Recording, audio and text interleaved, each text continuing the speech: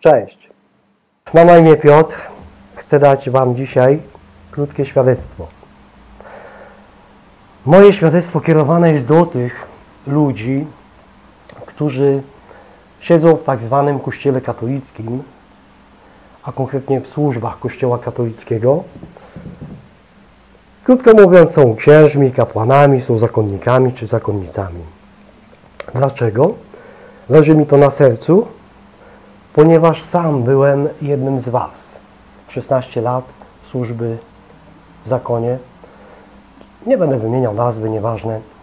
Myślę, że to nie jest aż takie istotne. W tym 9 lat poświęceniach, 6 lat na misjach w Afryce, więc niełatwe misje. Niemniej jednak nie to jest treścią mojego przesłania. Moja droga odejścia z kapłaństwa i w ogóle z życia zakonnego może być, myślę, pomocą dla wielu tych, którzy może są w podobnej sytuacji, czy w podobnym miejscu, w którym ja byłem, czyli w miejscu, gdzie zauważyli, że to, co czuli w sercu na początku, czyli zawołanie Jezusa, aby pójść za Nim, niekoniecznie jest tym miejscem, w którym się teraz znajdują. Czyli niekoniecznie pójście za Jezusem musi owocować służbą w tak zwanym,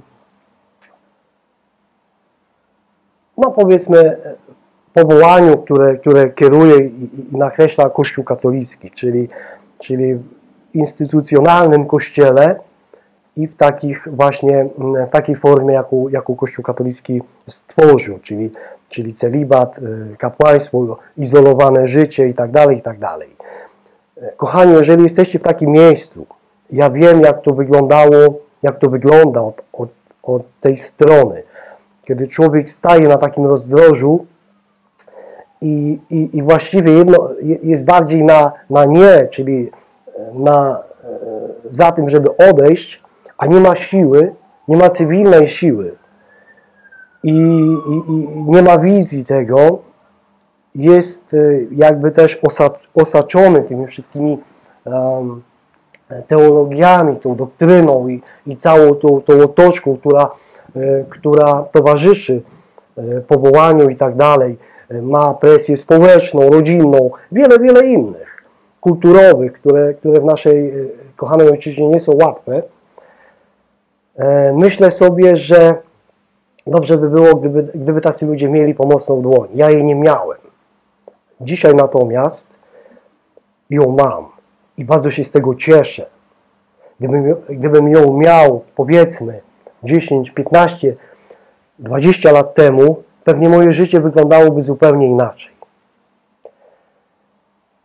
Wiem ze swego doświadczenia, będąc jeszcze po tamtej stronie, widziałem wielu ludzi, którzy stawali na takim rozdrożu, rozdarci wewnętrznie, przybici poczuciem winy, bo jedną z cech, którą, którą ja osobiście mocno doświadczyłem i odkryłem, w kościele katolickim to jest, to jest manip ogromna manipulacja poczuciem winy. Tak więc myślę sobie, że fajnie by było, gdybyście wiedzieli o tym, że są ludzie, którzy są chętni do tego, żeby Wam pomóc, żeby podać rękę, chociażby porozmawiać, bo po tamtej stronie no na pewno znajdziecie też jakąś pomoc, ale niekoniecznie kierunkującą Was tak, jak, jak czujecie, jak Was może sam Bóg prowadzi. Ja dzisiaj wiem, że pójście za Jezusem wcale nie, nie jest tożsame ze służbą w Kościele. Co nie było dla mnie oczywiste, kiedy byłem młodym chłopakiem, nawróconym, kiedy czułem żar i ogień Pana w sercu i chciałem za Nim pójść.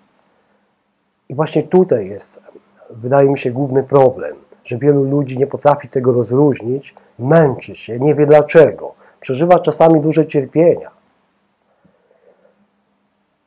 Niech to moje świadectwo będzie takim pierwszym krokiem. Myślę, że jeszcze tych świadectw będzie kilka. Może, może opowieść mojego życia też w jakiś sposób y, pomoże Wam, może będzie tożsama z tym, co Wy przeżywacie. Też wsparcie wspólnoty, w jakiej jestem, modlitewnej, gorącej bardzo, będzie dla Was początkiem pomocy, ale i też nowej drogi. Kochani, jeden z moich podstawowych błędów, jakie ja popełniłem, odchodząc ze służby w kościele, to było, jak ja to nazywam, wylanie dziecka z kąpielą. Czyli nie chciałem się wyprzeć wiary, aczkolwiek e, nie chciałem być już tożsamy z Kościołem katolickim. Dlaczego to jeszcze będzie na to czas, żebym odpowiedział? To są moje refleksje, moje, moje dojście do tego.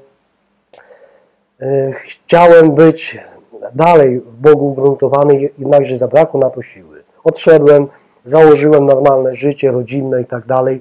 Niemniej jednak e, bliskość, e, bliskość z Bogiem w pojedynkę nie jest taka, taka, taka łatwa i prosta.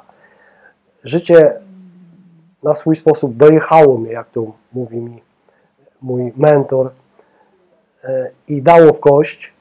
Popełniłem wiele błędów i myślę sobie, że czas na jakieś takie akcje wzajemnego wsparcia i e, właśnie, właśnie czegoś takiego jak wyciągnięcie ręki.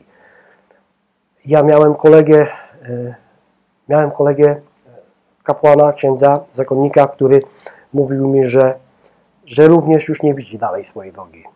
Że, że on by odszedł, ale nie ma odwagi. Że nie ma odwagi. Dowiedziałem się ileś lat później, że, że bardzo zdolny człowiek, że właściwie nie, nie, zamyka się w pokoju, nie wychodzi z pokoju. Oczywiście dopadł go problem alkoholizmu.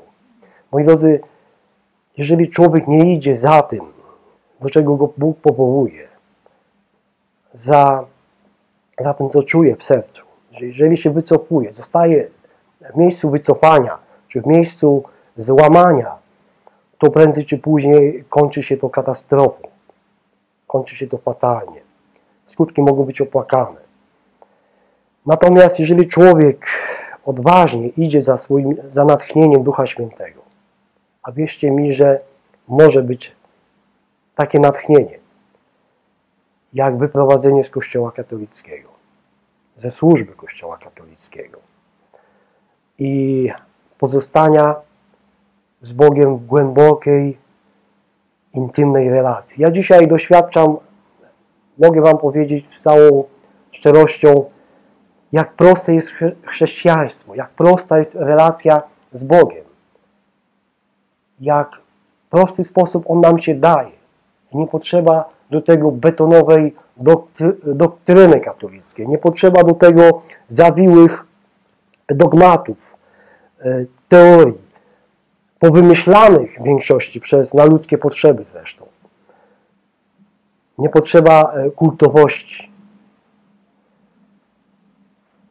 Wierzcie mi, że jestem człowiekiem szczęśliwym. Mimo, że jeszcze nie powychodziłem ze wszystkich moich trudności, które niestety pochodziłem chodząc bez Boga, albo przynajmniej, może tak w cudzysłowie, nie oddaliłem się od Niego, nie wyparłem nigdy, ale, ale poszedłem sam. Jak gdybym zapomniał, że On jest dla mnie i zawsze jest. I to chyba sprawiło, to było główną przyczyną tego, że, że znalazłem się w bardzo opłakanej sytuacji. Dzisiaj się podnoszę. Dzisiaj jestem innym człowiekiem. I ten motyw, to znaczy powrót do kochającego Ojca, taty i przebywania w Jego kochających ramionach, doświadczenia ogromnej mocy, jaką jest moc imienia Jezus, uwalniania bardzo wielu opresji, spaczeń, powoduje, że ja naprawdę radzę sobie w życiu dzisiaj. Że jestem w stanie sobie poradzić.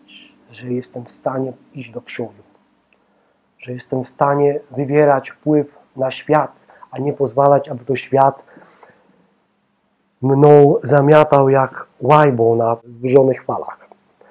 Jeżeli ktokolwiek z Was będzie chciał porozmawiać i dowiedzieć się czegoś więcej o mojej historii, szczerze zapraszam. Służę Wam moją pomocą i moim życiem i wdzięczny Chrystusowi za wszystko, co dla mnie zrobił. Jestem przekonany, że w tym momencie jestem też Jego świadkiem, Jego, Jego narzędziem. Nie chcę, aby ktokolwiek z Was skończył w więzieniu poczucia winy, tak jak ja skończyłem. Ale żeby zaczął normalne, zdrowe życie. Jest to możliwe. Jest to jak najbardziej możliwe. Normalne, zdrowe, rozwinięte i rozwijające się życie, pełne sukcesu. Nie dajcie sobie wmówić, że odejście jest jakimś przekleństwem. Nie dajcie sobie wbić albo siebie wbić w poczucie winy. To tak na początek. A resztę później zrobimy razem. Trzymajcie się. Do zobaczenia.